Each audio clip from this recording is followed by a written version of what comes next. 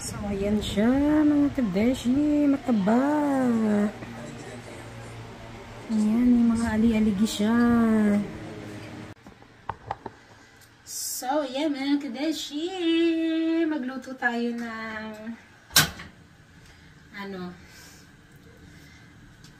crab. Ito siya. Ito siya. Ay.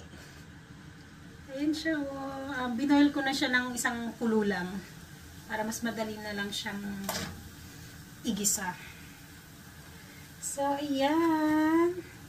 Tapos, yung bawang, sibuyas, tsaka luya, yan, binlender ko para talagang ano siya, durog na durog. Kasi tinatamad ako maggayat ng pino. So, binlender ko na lang siya. Tapos, gagamitan natin ng butter.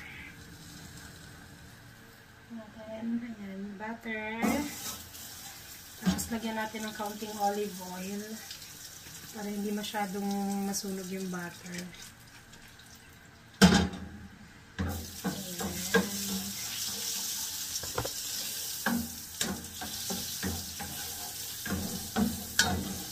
Tapos, lagyan na natin yung ating blender na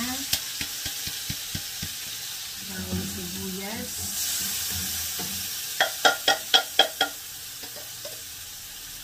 Ayun, laglag lang ako.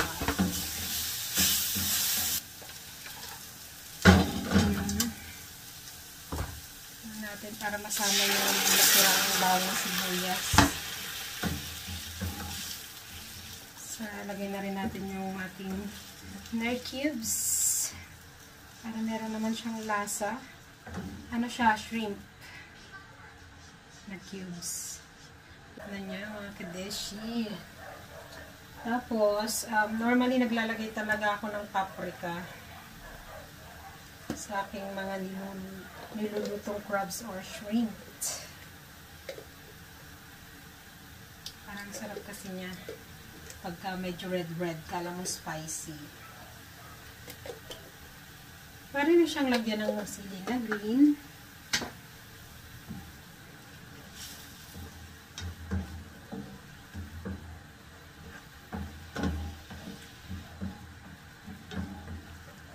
Ayan, ilagay na natin isa-isa yung ating mga crabs. Pinoil ko na siya kasi ang hirap maghalo pag dito eh. Pero hindi naman siya kulong-kulo. Parang isang isang kulo lang pinatay ko na kagad. So medyo kailangan pa rin niyang lutuin ng konti. Gisa-gisa-gisa.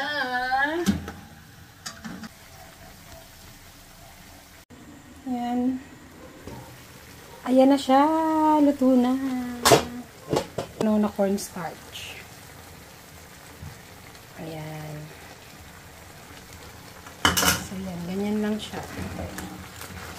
Salu-haluin na natin para lumapot yung kanyang sauce. Ayan. Hirap niyang haluin. So, ayan na nga. Ayan. Luto na siya. Dry na yung kanyang sabaw. Ayan. So, ayan na siya. Luto na. Patayin na natin. Yan na yung ating crab. Kain na na. So, ayan siya mga kadeshi. Luto na yung ating crab. Tataob na naman ito yung kaldero.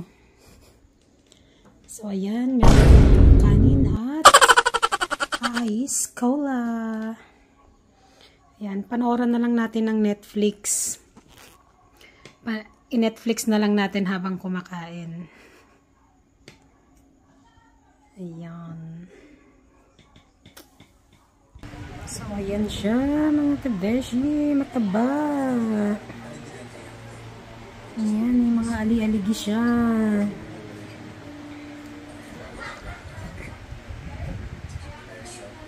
So that's all for today's video mga kadeshi. Thank you for watching. See you on my next vlog. Bye-bye!